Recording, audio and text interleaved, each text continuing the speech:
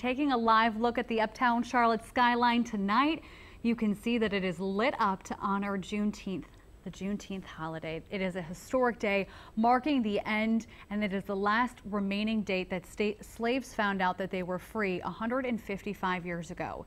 Now, after weeks of protests and reflection, millions around the country and right here in Charlotte came together to celebrate. Tonight, our Elsa Gillis shows us how those around Charlotte marked the significant holiday.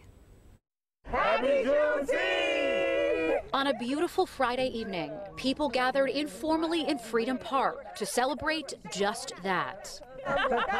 Freedom Park, I mean, the name in and of itself, even though we're not collective, you know, because of social distancing and things of that nature, but at the same time, just to look around and see the multitudes of people that showed up, it means it means everything. It feels really good to see you know, our people out here celebrating us because it's important. You know, we celebrate all other holidays. This is a major holiday. For Ashley Brannon, it was important to bring some of the younger members of her family to the celebrations they look forward to each year. Hey. And on the way out here, I asked them if they knew, you know, what we were celebrating today, what it was. And they were just like, you know, the slaves were free, so that's what's happening today, which is partial truth, you know, but I had to break it down to where you know, majority slaves were free. However, the slaves in Texas did not know. So until we all are free, nobody's free. Over in Plaza Midwood, the holiday this year was marked by some somber moments. I can't breathe! Along with happier ones, music, food, dancing, typical of the annual Juneteenth Festival of the Carolinas, started by this man. It is a significant piece of American history that needs to be celebrated.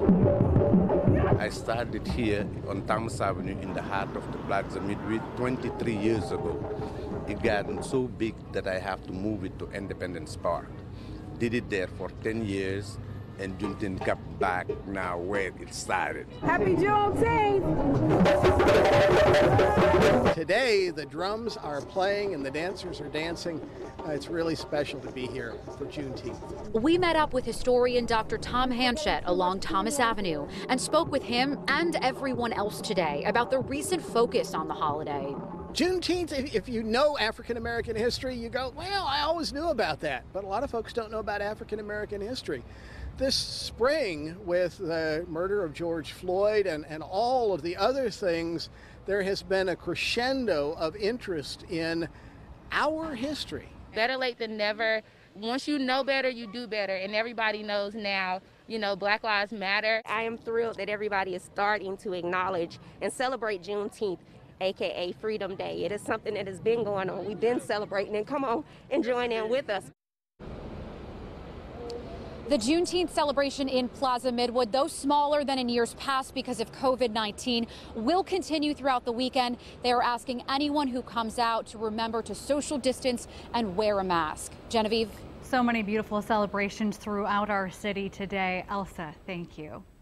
Governor Cooper said on Twitter today, it's a reminder that even 155 years after slaves were told they were free, we are still fighting for change.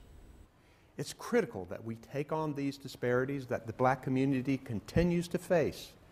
I'm committed to creating real change in our state that provides protection and opportunity for all North Carolinians. And there's a national push to make Juneteenth a federal holiday. Today, a group of Senate Democrats announced they will introduce the Juneteenth National Independence Day Act.